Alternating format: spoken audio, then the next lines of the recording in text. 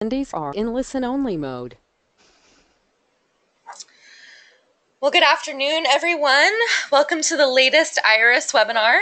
This is your host, Danielle Sumy, speaking from the Incorporated Research Institutions for Seismology headquarters in Washington, D.C. The IRIS, um, or IRIS, is a consortium of universities and an NSF-funded science facility operating programs that enable Earth scientists to perform advanced research in geophysics, particularly in seismology. Today's webinar was solicited to highlight important technical results directly enabled through IRIS. And webinars are recorded and archived on the IRIS YouTube channel. So if you know someone who wasn't able to make it today, please point them to the IRIS YouTube channel. The webinar ground rules are only the presenter, Dr. Robert Weekly, and I will speak. If you have a comment or question as the webinar unfolds, then please clearly and concisely type it into the box on the webinar control panel. At the end, I will read your name and question to the speaker. If similar questions have been asked, I may combine or skip them.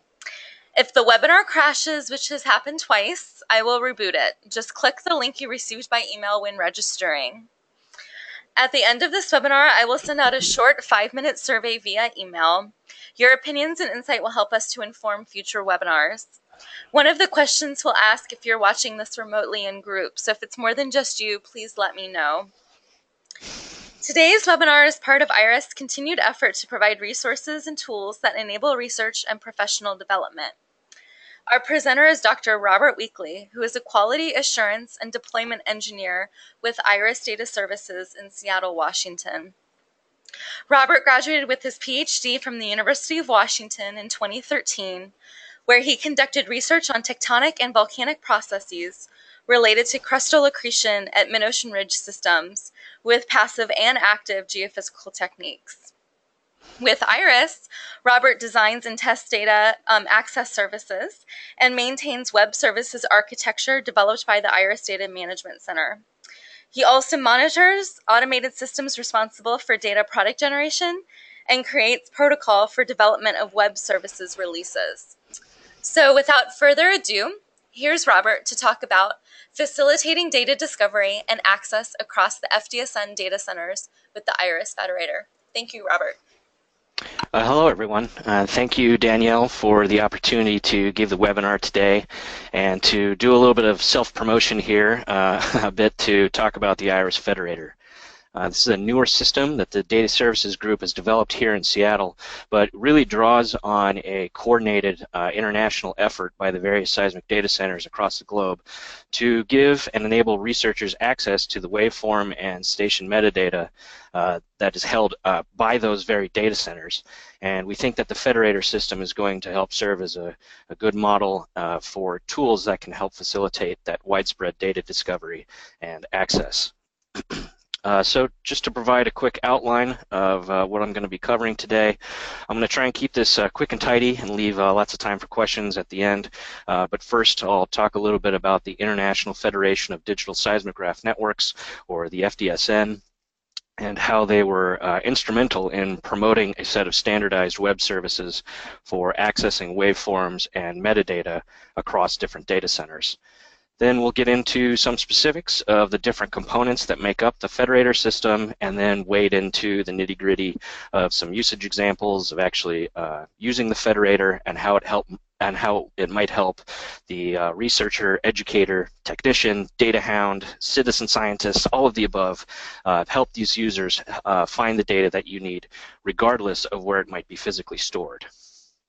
Uh, so uh, just as some quick background, starting in uh, 2013, the FDSN approved a set of specifications for web services that standardized access to data across any data center that served uh, time series or station metadata or hypocenter information. And in order to access that data, you very likely had to go through one or many of these services listed here on the, on the slides, the uh, station, data select, or event services. And so that specification that's set up by the FDSN, uh, that provides data centers with a clear, unifying set of rules and standards for how to receive data requests and ultimately transmit that data to the end user. Uh, these services have been widely adopted now to the point where it's not just IRIS, but um, indeed more than a dozen other data centers across the globe have adopted one or all of these services, and we hope for um, even more widespread distribution in the future. um, so the Federator uh, leverages these two services, specifically the uh, station and data select services, to provide a tool for really easy access and discovery of waveforms stored, uh, again, not just by IRIS, but by any of the FDSN data centers. Um, so in order to rely on the power provided by that underlying standard, there are a few relatively uh, unobtrusive, hopefully unobtrusive uh, requirements that a data center has to meet in order for its holdings to be included within the federator. Uh, first things first, they have to have working and um, uh, stable, publicly available versions of both the station and data select services. Uh, the whole thing just doesn't really work without having those two first and foremost, so got to have it. Uh, but the other two required parts here are that there needs to be some flow of unrestricted time series data coming out of the center and that the station service specifically must support the FDSN approved text format. Um, what that means uh, for the operators out there is that when a user is crafting a URL for their request, uh, your service has to be able to support the format equals text option. Uh, some other things that are considered um, kind of optional, not necessarily explicit requirements, but just things that help the federator determine uh, data availability um, are that the station service should support either the uh, match time series and or the include availability parameters. Um, so part of the mutual benefit here is that we get, as we get a few more years of exposure and expand the number of data centers that are hosting these web services, um, we start to really increase the footprint of accessible data and the power and utility of the federator just grows right along with that. Um, so currently the number of federated data centers is uh, 15 with each center being represented here on this slide. That includes uh, three centers in North America, uh, near about a dozen um, distributed across Europe, and then one in South America in Sao Paulo, Brazil. Um, if you'd like a complete list of any of the data centers that employ any of the station data select or event services, uh, you can go to this address here uh, direct at the bottom of the screen uh, directly through the FDSN website.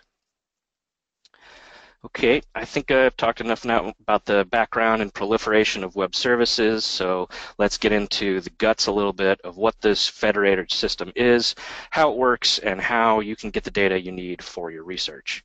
Um, so there's these two big components to the federator, which is the harvester routine. Uh, this basically finds out what data is being held where and builds a catalog of what we call data center holdings. And then there's the uh, web service part, which acts as the front door for actually fielding user requests, searching through the harvester's catalog, and um, then ultimately sending out the data to the uh, to the user that requested it.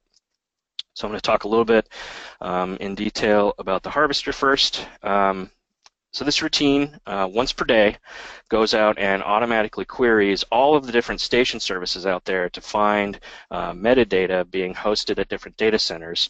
And this helps to create a, compiles all this data and organizes it into a working daily snapshot of the most currently available uh, metadata at each center. And we use that as kind of a proxy for uh, the actual time series data that's available, but that might not be 100% true in all cases. Um, so that metadata uh, down to the channel level is compiled into this database of channel holdings and uh, some of the metadata associated with these holdings you can see here um, on the screen in this little purple box over to the side and that includes uh, the unique channel identifier, some sensor location information and orientation and also some of the uh, instrument response information. Um, so as far as the availability of individual centers goes, uh, there can be times when we have a situation where the harvester goes through its daily run, but a data center might be down, or perhaps the services are temporarily unavailable for whatever reason. So the harvester, instead of reporting a no data no data available kind of situation um, and having an incomplete catalog for that 24-hour cycle um, can instead revert back to the previous day's state of a complete holding for that data center. And so it will just continue processing requests as that center services are restored. Uh, but this prevents a situation where one data center being down means that you can't request, you can't complete your request for data across other centers. Um, so just to give everyone an idea of the scale of the uh, volumes of available data that we're talking about here, um, I have this little graph that shows uh, the number of channels uh, for each data center. Uh, please note the logarithmic x-axis here. Um, this data is current as of uh, last Wednesday and shows the three North American data centers uh, by far hold the largest number of channels, uh, followed by GEOFON and RESIF, and on through the other European data centers, and with the Sao Paulo center uh, sharing their network, which is comprised of about a dozen channels. Uh, but the main point here is not necessarily the number, but rather to show that there is a wide distribution of centers represented, and we're always eager for more centers to be able to contribute. The more centers we have contributing, the higher their visibility, the better growth for the federator, and the more direct access to data the users and researchers get. That's all makes things better on everybody's side. So that's all happening kind of behind the scenes, uh, but the user experience with the federator is really driven by the Fed catalog uh, web service that we've developed. This service provides a tool for searching through the Harvester catalog, and the real power here is being able to leverage uh, client-side federation for the requests being made. And what that means, uh, basically, is that the software is able to do the hard part of organizing and then subsequently crafting and ultimately distributing individual requests to each data center uh, without any direction or input really from the person actually making the request. Um, It's important to uh, point out here that in this model of data aggregation and organization, the users are going directly to the service backends for each of these data centers and uh, directly pulling miniSEED data and StationXML metadata from those services. So none of the actual request or shipping process of data flows through the Iris DMC here. Um, with this slide, um, I should point out a couple, well, I have to point out one thing, namely uh, the URL the actual Fed Catalog Service homepage here up at the top of the slide. Uh, you can go there for all of the detailed info you need to really use the service uh, for your own purposes. Uh, it's got service documentation, our familiar URL builders, which I'll get into a little bit later, um, but all the information is there at that website. Um, second thing for this slide is uh, this little cartoon that hopefully gives you some visual representation of what client-side federation is really about. Um, so here, in, instead of the user uh, having to search through metadata at several individual sites and then crafting separate requests for separate data centers, um, the user can instead really simply query the Fed catalog service for certain channels, and then the Federator software clients can go out and fetch all that data from each data center uh, based on the most current holdings uh, catalog that they have.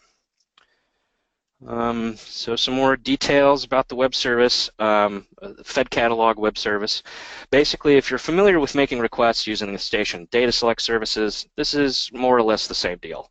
Uh, specify some network, station, channel identifiers, maybe start and end times, maybe sort it by geography, throw in some wildcard expressions. You can even send your requests via GET or POST style. It's all basically same, same, same. So if you're familiar with how to use the station data select services, you'll know how to use the Fed catalog service too. Um, now, with that being said, there is one important distinction unique to the Fed catalog service here, uh, which is the ability to identify and remove duplicate data channels from the search results. Um, by default, the service will not include those redundant channel holdings, uh, but we do give the option to return all channels matching the request regardless of the data of the source data center. Um, so I mentioned the URL builders a little bit before. Uh, the, this is kind of a uh, just an image of the one that we have for the Fed catalog service.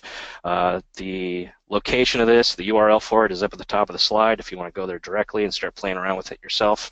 Uh, but these are really helpful uh, to help acquaint new users to Iris Web Services, or if you're just not generally familiar with how to get your data through Iris, uh, we've developed these really approachable URL builders um, in order to help out. So this slide shows some of the highlights of that. Uh, this is just a screenshot, but again, if you go to the address up here at the top of the slide, you can uh, interact with it yourself and put in your own search parameters. Um, but basically, you're, as I mentioned before, you can set network station channel, um, add some time or geographic boundaries. Uh, we have this really handy dandy point and click map utility uh, to be able to help uh, physically draw out regions of interest that you might have.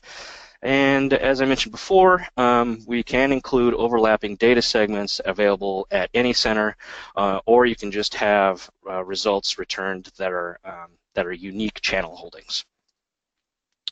So as you go through and enter information into each of these fields, uh, it automatically populates this URL down here at the bottom and uh, will dynamically change uh, based on whatever you enter above. So once you have your parameters set, click on the link and it will execute your request. Um, this is mostly meant, again, for very general illustrative purposes.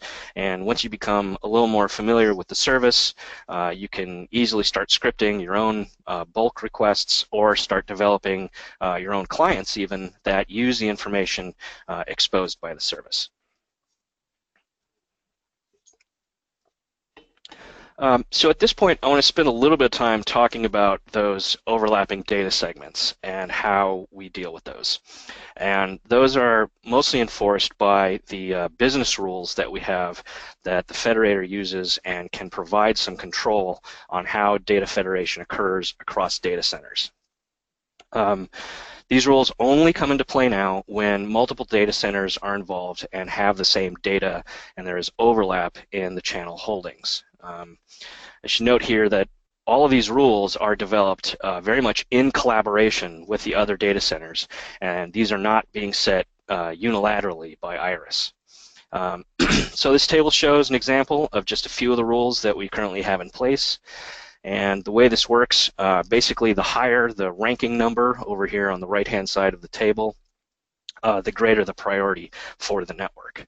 Um, so each rule uh, listed here affects a certain network, but the level of detail can really extend down to the channel and location identifiers too. Um, we don't currently have many federation rules that are time dependent, but we anticipate a greater need for that in the future, and so we're prepared to support that kind of granularity uh, should it be requested by that data center. Taken together, uh, these rules yield a weighting system, basically, that gives the, that gives the centers clear priorities for serving the data that they themselves host. So, for in this example, uh, we have a couple rules that call out priority networks for centers. IU for IRIS, uh, BK for the uh, NCEDC, RESIF, uh, INGV, and GEOFON all have their priority networks too. And indeed, we have rules, uh, sometimes multiple rules, for each of the 15 federated data centers that I mentioned before. Um, these, uh, all these rules help resolve uh, issues of data overlap and are used by the service by invoking the include overlap parameter in your requests. So at this point, um, I think I'd like to move on to some of the use cases and examples for uh, how the service works and how some of your favorite Iris software clients uh, have been changed to uh, enable use of the federator and can facilitate your data requests. Um, so alongside development of the Fed Catalog service, we've also updated uh, several pieces of software to use the Federator 2. Um, a list of clients can be uh, can be seen by going to the URL up near the top. That's service.iris.edu slash clients. Uh, there you can find things like the always popular fetch data command line script, uh, the irisFetch.m MATLAB friendly client, and these can both easily accommodate federated data requests by simply enabling some extra option flags, uh, which we'll see more of in just a minute. Um, but we expect to extend federated support to our other clients uh, very soon. Uh, we're development for ObsPy is currently underway for those of you who use uh, the ObsPy tools. And uh, we hope to have federator support for Wilber and uh, for the IRIS tools, uh, Wilber and JWeed, or its Pythonic replacement, PyWeed, uh, in the very near future. So uh, let's take a quick look at what a federator request really looks like and what kind of data is returned by the service. Um, so on this slide, there's a very there's a sample URL up at the top. This is the actual command that you enter into your web browser and send to the Fed catalog service. And you can all run this command directly in your own browser to see the results for yourselves. Um, in this case, we are uh, looking for any LHZ channel data that is available globally during a, a six-hour period in June of 1997. So this is really just a snippet of a few lines of data from what was returned. Uh, the full response includes a complete list of all the available all the available channels uh, from each data center. Um, it's not actually cut off like is represented here on the slide. Uh, but what you should notice right off the bat here is that when you're actually making requests from the Fed Catalog service, you don't actually get waveform data back directly, but you get a text list of all the available channels. Um, these lists are organized by data center and have been formatted in such a way that they can be then be sent right back out the door and submitted directly to the data center service endpoints to then actually go and retrieve the miniSEED data or StationXML metadata, whatever it is that uh, you seek. Now, um, the changes that we made to our clients like Fetch Data have removed this intermediate step. And again, as we'll see in just a minute, um, the clients, they will actually go and download miniSEED data to your desktop. Um, but we've decided to expose this level of information uh, within the service in order to give people in the community the opportunity to use this format to develop their own clients for data retrieval if they so wish. Uh, so let's see. This particular request ends up returning something like 370 different channels of data um, across uh, five different data centers.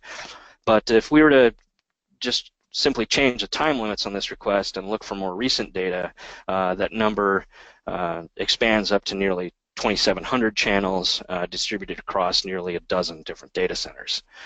Um, so lots of good opportunities for getting data from very uh, disparate sources here. Um, so at this point, I'm going to exit out of the PowerPoint here to show off some concrete examples of using the fetch data script uh, to go get some miniSEED data from around the world. Uh, so if you'll just bear with me real quick while we get that set up. Hopefully I can uh, make this legible for everybody.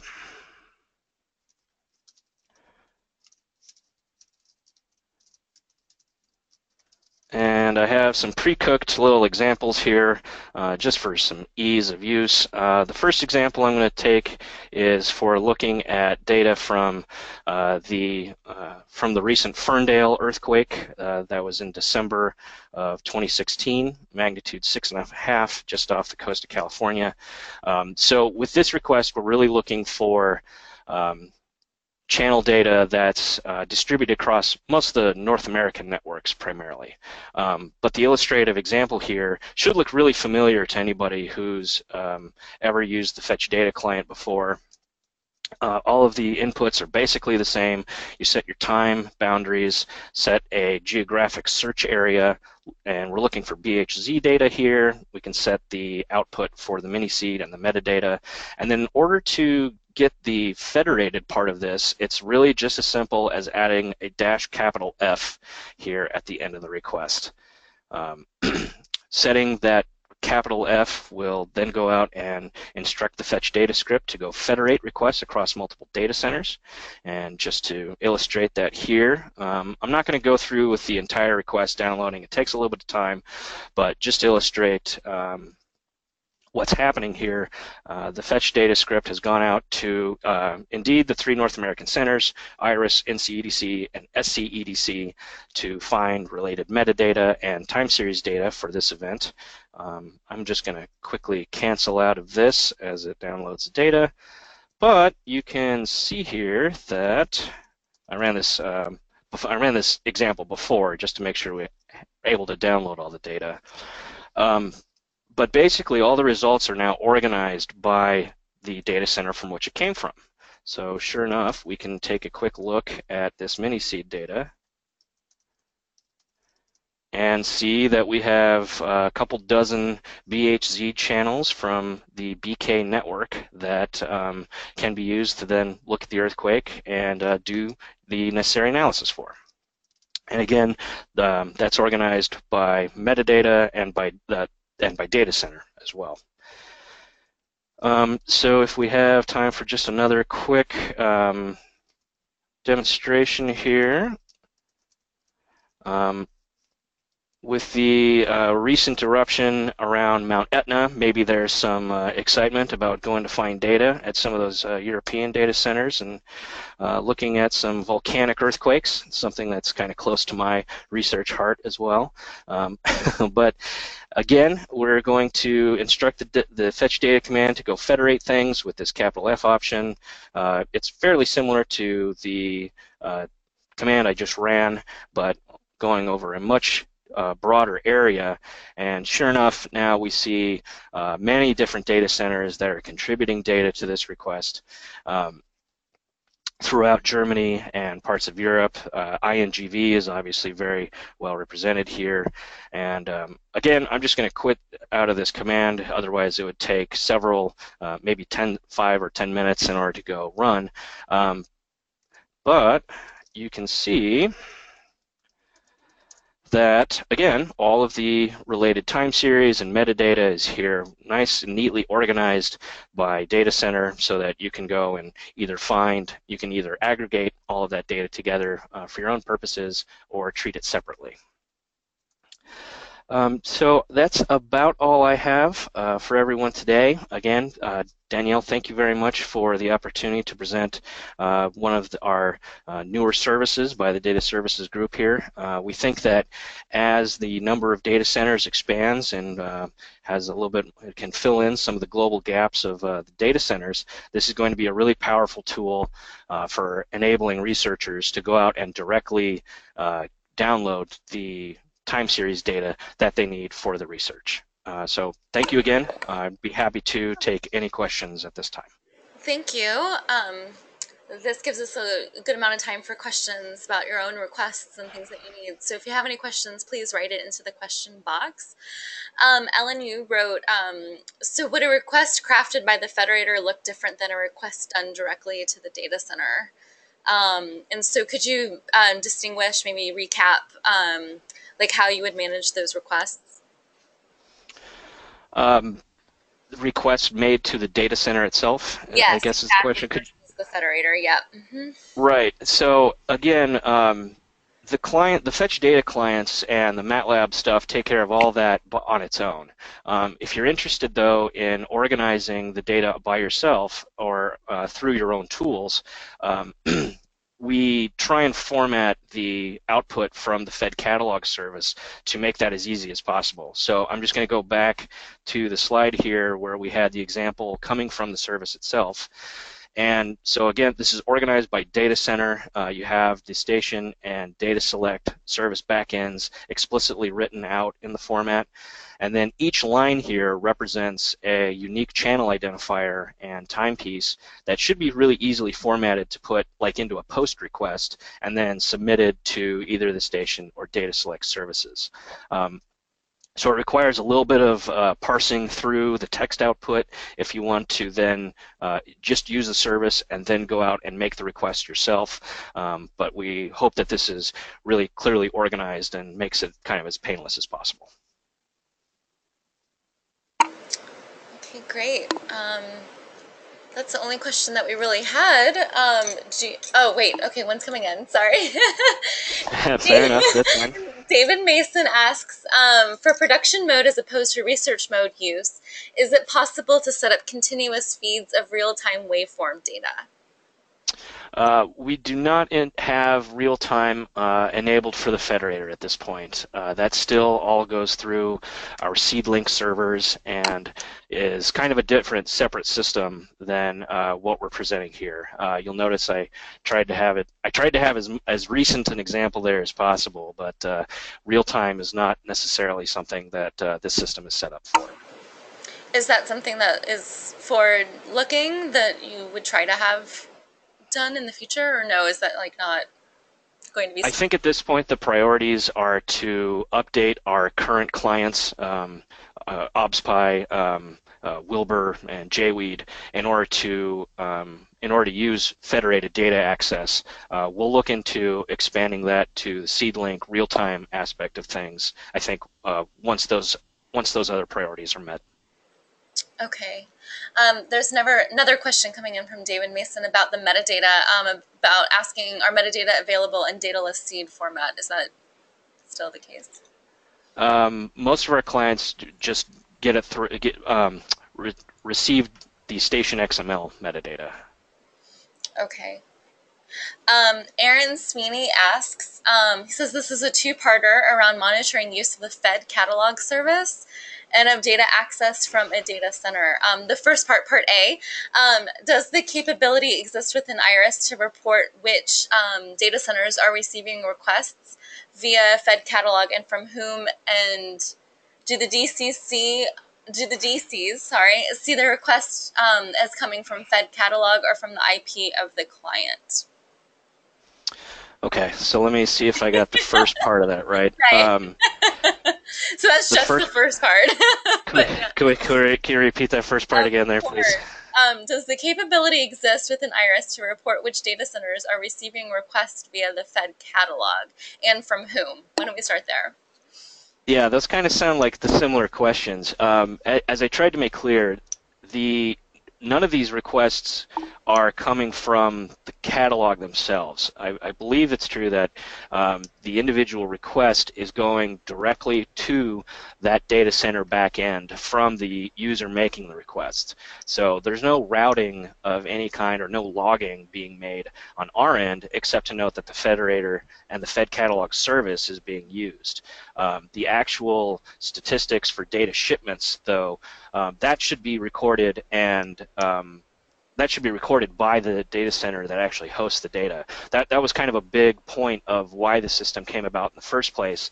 Um, was to uh, increase the visibility of these other data centers and to um, enable them to more easily and more directly serve the actual data that they host instead of having uh, the IRIS Data Services Group act as an intermediary there. So okay. I hope that kind of puts that. Yeah. that kind of answers yeah. the question. And so, do other data centers? Do they also report, like, if you're querying just the data centers, do they also report back to Iris on like size and volume, so you can get a, like a a better estimate of like what the reach is? Is that is there collaboration between data centers so you can get those type of numbers? Um, not explicitly. I think basically the harvester routine, which I kind of talked about, is is is really solely responsible for finding out the data that's available. Um, we have some specific parameters for the station service that can provide some more details about what data is specifically available, but um, not necessarily that those parameters aren't necessarily supported by every single data center. So the ways that we report um, available data and most current up-to-date metadata might vary a little bit from one data center to the next. Okay, it's good to know. But I, there, there's no explicit um, handshake going on to um, between the data centers. It's mostly just querying that station service that's available. Okay, great. Um, Rob Porritt asks if there are plans for more data centers to provide like SAC poles and zeros files or response um, file web services. Um, yeah, we're kind of working on that at this point. Uh, to get a little into the weeds on that, um, it actually requires uh, some updates to our um, to our Java library in order to allow for each of the individual data centers to uh, host and then uh, transmit data for their own like SACPZ or response-based uh, service. Right now, this is pretty much restricted only to the FDSN, um, the FDSN approved web services, station, data select, and event.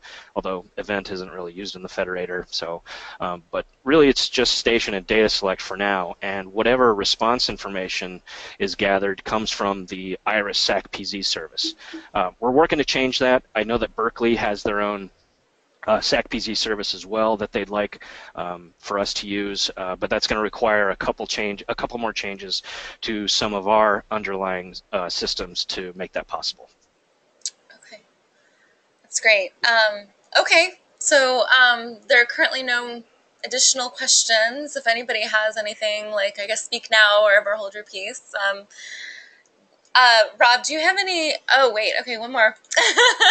okay. Sure. Um, Aaron Sweeney asks, um, you mentioned event services at the beginning, um, and how does it fit in with the federal federated catalog? It sounds like it doesn't right now. It, like it does, that event services is something separate, or no? Is that not the case?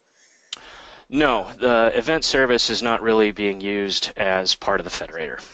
Okay. Um, we're going to have to figure out how it kind of plays nice with uh, with the Wilber client that uses okay. a lot of very um, event-based information. Um, but we're we're we're working in development for that.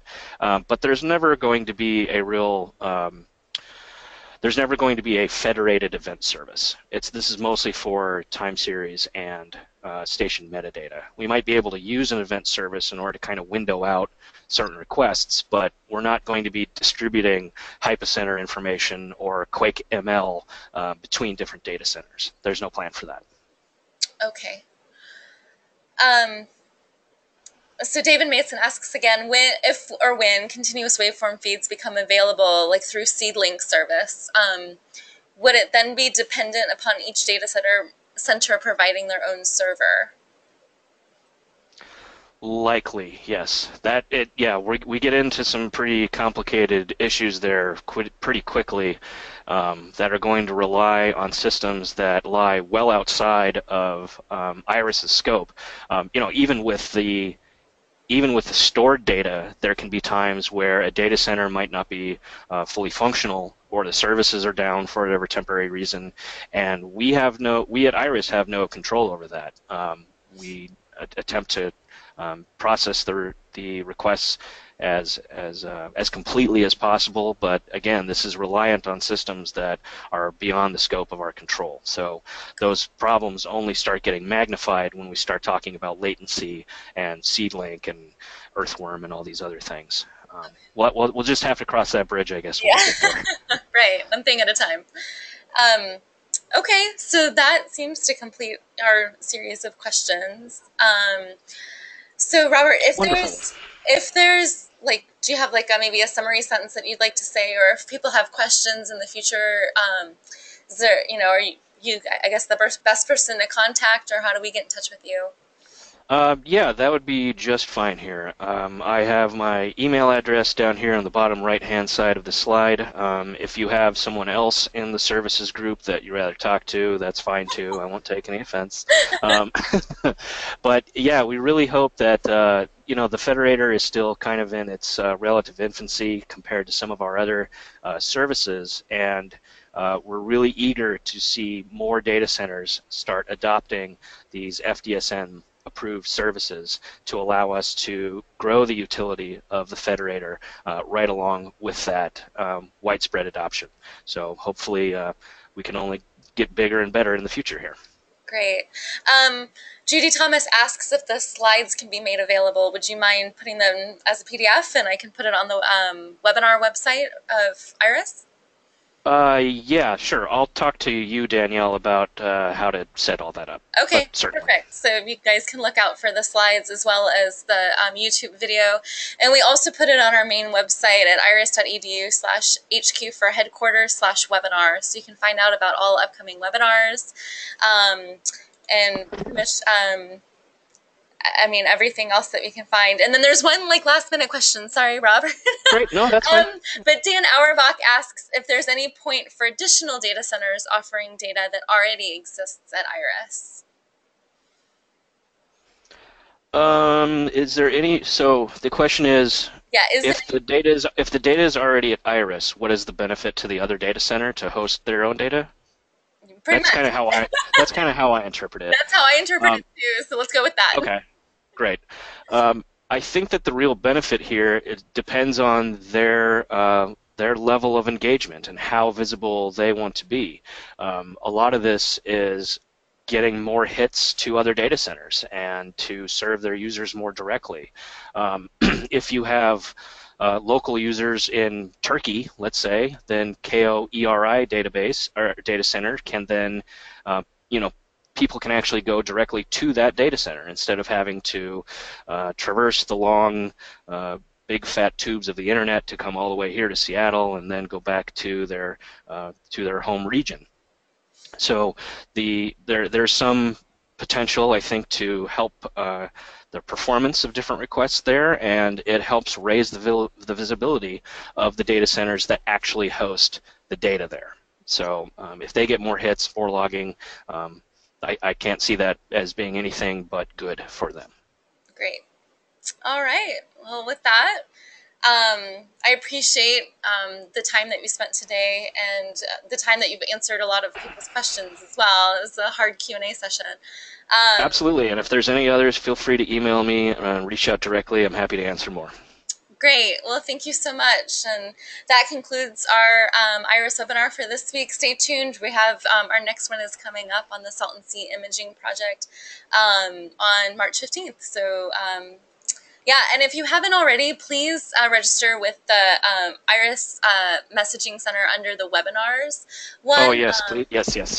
this needs this needs more visibility as well. Yeah, that's right. And so um, if you have any um, requests about which ones you're subscribed to, please check with the Iris um, Message Center for everything that you're currently subscribed to. So, all right. Well, with that, thank you so much. Enjoy the rest of your Wednesday. All right. Take care. Thank you very much, Daniel. All right, thank you. Yep. You're welcome. Bye.